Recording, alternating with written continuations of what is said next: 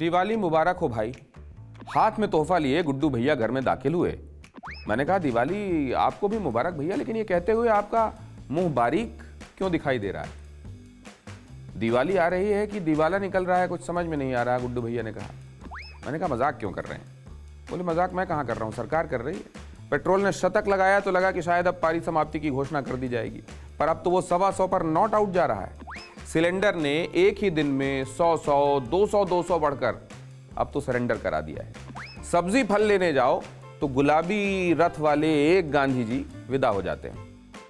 Packet में इस बार क्या है मत देखना भैया, इस बार तो केवल भावनाओं से काम चला लेना। कहा गुड्डू भैया ने तो मैंने कहा, भैया, लेकिन विकास तो हो रहा है ना देश में, और उसके लिए पैसे तो चाहिए। बोले हाँ खाते, पीते, जीते रहे तो विकास भी देख लेंगे। मेरे तो ये समझ में नहीं आ रहा कि विकास और ऊंचाई से मुराद क्या है। एक ज्योतिषी ने मुझे कहा था कि दीपावली के आसपास आपके जीवन में ऊंचाई छूने के योग है। पंखे के जाले साफ़ करने के अलावा तो किसी ऊंचाई पर ना जा पाया। मेरे एक भतीजे का नाम विकास है, अब तो उसको पुकारने में भी डर लगता है। कल आया था, पटाखों और कपड़ों के नाम पर आटा और गीला कर गया। मैंने कहा, चलिए सब छोड़िए, आप बताइए क्या पियेंगे? फिनॉल है क्या? मैं घबरा गया। मुझे शांत करते हुए बोले, आजकल उसका पोछा लगाना ज़रूरी है, मच्छरों ने अलग आतंक मचा रखा है। चलो एक अच्छी सी चाय ही पिलवा दो। फ़िक्र आपकी।